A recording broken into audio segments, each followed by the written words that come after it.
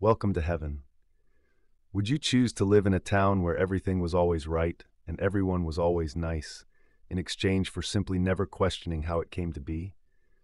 I never thought I would be the kind of person to give up my free will in a subtle way like this. But in this specific case, the perks simply did outweigh the costs. It all began after my aunt passed away.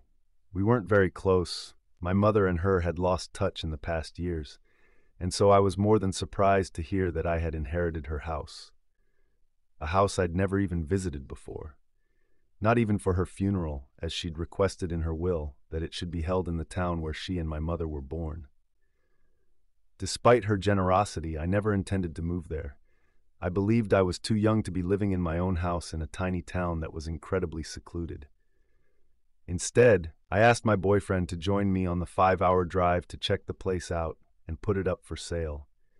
As we drove past the sign that read, Welcome to Heaven in big cursive letters, it was as if we'd stepped into the set of a movie. The side of the road was lined with big apple trees that all looked exactly the same. They were bright green, flecked with huge red apples. The road we drove down became significantly smoother. Birds were chirping, and we saw a small river glowing in the sun. And that was only the beginning. The closer we got to the center of town, the more beautiful it became. We passed little farm stands that were made to look like strawberries, blueberries, and figs. There was a bakery inside a brick house emitting scents of vanilla and warm butter, and cafes with people sitting in the front. I slowed the gas to look into different types of shops selling clothes and jewelry. For a town so small, it had anything you could wish for. I thought this would be some boring little village, Ian mumbled from the passenger seat. Me too, I agreed. But it's so nice. We pulled into the street of my aunt's old home. There were houses in all types of colors with small chimneys and cute little front yards where people were tanning in the sun or watering their plants. Some waved at us as we passed them, and to our surprise, most of them didn't seem much older than us. This should be it, I said as we reached house number seven. We walked up the gravel to the front door, and I rummaged through my purse for the key, but surprisingly, the door was unlocked. As I stepped over the threshold, I noticed that I smelled like cinnamon, as if someone had been baking in the kitchen very recently. Ian followed close behind, the two bags with clothes and stuff we'd brought hanging over his shoulders. Wow, he mumbled, and I felt the sentiment.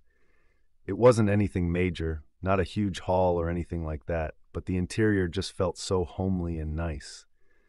There was a small fireplace in the living room. Everything was still furnished. There was no television, but a massive shelf filled with hundreds of books. We continued to the kitchen, and I opened a few cupboards, which were all fully stocked. Ian opened the fridge and turned to me with a confused look on his face. Did your aunt live on her own? he asked. Yeah, I think so. Why? He pulled out a carton of milk, opened the lid, and smelled it.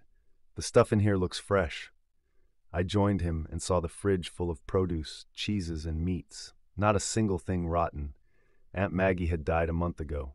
That's really odd, I whispered. I moved away from the kitchen and found the staircase leading upstairs to where the bedroom and bathroom were. On top of the bed, I found a letter addressed to me. My dearest Eleanor, you might have been surprised to receive this present. When I got ill, I wondered whose life I could make infinitely better, and I ultimately landed on you. You are in the prime of your life and deserve happiness. So now I am giving this home to you, and as you will soon learn, it will be the very best thing that ever happened to you. Enjoy it with all your heart. You will learn that you never have to endure stress again. You won't feel anger or sadness, only luck. And there's only one thing you need to do in exchange. Never question why. I called my mum to tell her that we'd arrived safely. She'd been a little suspicious of the whole thing at first, and when I told her about the letter, it didn't exactly ease her mind. My aunt had moved away when she was in her late twenties. She was a good bit younger than my mother. After she moved to this town, they lost more and more touch, and I believe my mother was afraid the same thing would happen to me. She hadn't even known that her own sister was sick until it was too late.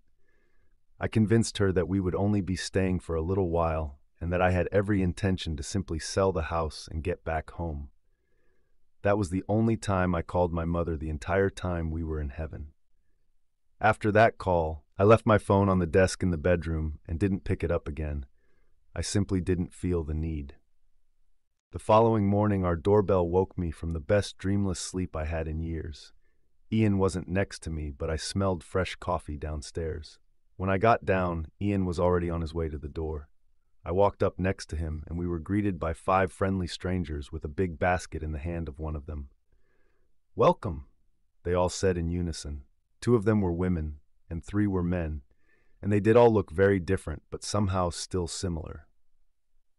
They had the same posture, the same cheery grin, and similar sets of workout clothes that I immediately envied. The tallest of them stretched out his arms, gesturing us to take the basket. Wow, is this for us? I asked. The basket was filled with chocolates, bath oils, lotion, fruits, and a bunch of other fancy looking items. Well, yes, of course, one of the women said as she linked arms with the tall guy. She had golden hair that shimmered in the warm sun and freckles all over her cheeks.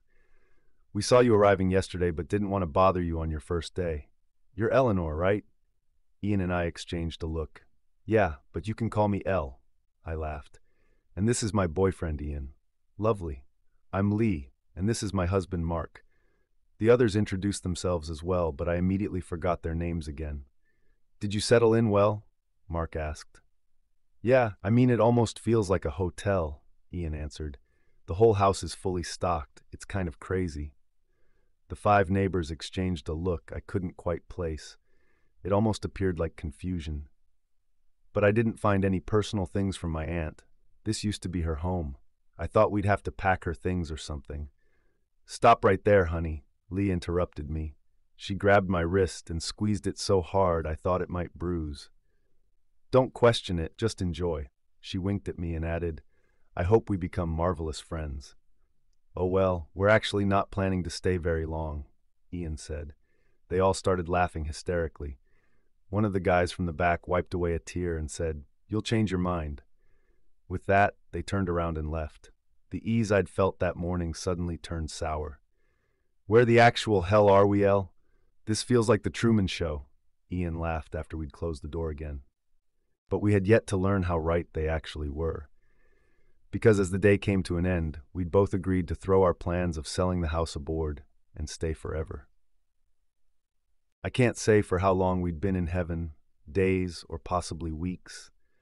You know the old expression, time flies when you're having fun. Ian was gone for the afternoon to play tennis with Mark. It was the very first time since our arrival that I felt the smallest sense of boredom. It wasn't a bad feeling, simply one that prompted me to find something to do. And so I decided to do something I hadn't done in a while. Read a book. I picked up the first one that looked interesting from the shelf and flicked through it, but for some reason I couldn't read it. Must be a different language, I mumbled to myself. I picked up the next one, but it was the same, and the one after that, and the one after that. All these books were simply decorations, I realized, and laughed. What a fun way to fill a shelf. I almost turned away to find another thing to do when one specific book caught my attention. It was tiny, smaller even than my palm, and didn't fit in with all the rest. It almost disappeared in between them. I pulled it out with my fingernails, and when I opened it up, a piece of paper, folded multiple times, fell out of it. I picked it up from the ground and opened it only to realize that there was writing on it. Writing I could understand. I have to write this down because I always forget again. I don't remember when I came here. I don't remember why. Everyone is always so nice. Why are they so nice? My neighbor Tricia started talking about her family. It made me wonder if I have one too. I found Tricia in her hallway. All the blood was drained from her body. Where did all her blood go? Two men appeared next door. They went into Tricia's house and came back out with a big black plastic bag. Nobody here gets to grow old. I remembered someone. Lucy and her little girl. What was her name again? My breathing stopped at the mention of the name. Lucy was my mother. The paper held only one more sentence after it. I will be in the black bag soon. I know it. Aunt Maggie had written these, probably shortly before her death, and if the content wasn't strange already, I noticed that the handwriting looked very different from the one on the letter I found on the first day. I sat in the living room for so long that I didn't even notice when it got dark or when Ian came home. There was so much fog around my mind that I didn't even react when he turned on the lights, or when he kissed my forehead, or when he put up a fire in our chimney. El, what's that in your lap? He suddenly asked. I looked down at the piece of paper with the last words I'd ever read from my aunt and swallowed down a hard knot. I, I found this. He grabbed the paper and his eyes scanned the page. Then he crumbled it without another word and threw it into the fire. Let's forget this ever happened. He smiled brightly, showing all his teeth, and then proceeded to go to the kitchen to start dinner. The following day, I did just what Ian said and tried to forget all about the strange letter. My aunt had been sick after all. It was no use to think about anything, really. We were happy after all, and I wouldn't have wanted that to change for anything in the world. And I would have continued living on like that, happy and oblivious if it hadn't been for the intruders in our home. Ian and I had spent the day at the local community pool, tanning in the sun, going for a swim, and having drinks with our new friends. When we came home, we were so happy and content that we didn't even worry about the strange car out front, or that all the lights in the living room were on. We never locked our doors, no one in heaven did. But as soon as I saw the two people in our living room, something snapped inside of me. Mum, Dad, what are you doing here? Eleanor! My mother got up from the sofa and hugged me so tight that all the air left my lungs. Why do you think we're here? You sent me all those strange texts and you wouldn't answer any of my calls. We got worried about you. What texts? Ian asked, and I shrugged. I had no idea what she was talking about. She pulled out her phone and showed me dozens of texts from my number. Ian and I decided to stay in heaven. We are so happy here. We need time to ourselves to settle in, and a bunch more like that. Well, I haven't written any of those, but I agree with them. I looked at Ian and he nodded. No, you don't understand, honey. I received the same messages from your aunt when she moved here. Exactly the same ones, word for word. I should have questioned it more then, but. So what? It is great here. Why don't you stay for a while? I'm sure you'll understand then.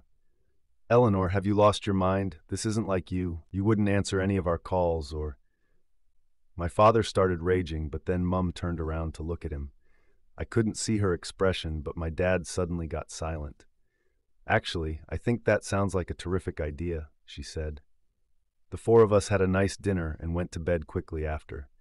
When I woke up, I was in the back seat of a car, with Ian fully passed out next to me. My father was sitting behind the wheel with my mother in the passenger seat. Mum, I mumbled, slowly coming to my senses. Where are you taking us? We have to go back. Suddenly, my heartbeat started racing. My mother kept shaking her head. When she turned around, I noticed tears in her eyes and a big scratch going down her cheek. I kept blinking a few times. Sleep was claiming me, and I could hardly keep my eyes open. The last thing I heard was my mother saying something strange. I don't care that you're an adult. I don't care that that house belongs to you. That place is not right. And I'm not losing you like I lost her. I've been back home for a few days. Not in heaven, but in my real home, with the family I'd almost forgotten about. I talked to my parents for a long time. Dad doesn't understand anything and thinks Ian and I lost our minds. But Mum seems to get it, especially after I told her about the note I found. She's trying everything to keep my mind sharp, hardly ever leaving my side. I've been strong so far, with her support, but I can't say the same for Ian. He seemed cooperative at first and listened to my parents. I thought we might be able to get through this, but yesterday he disappeared without even a goodbye, and I have a damn good hunch where he went.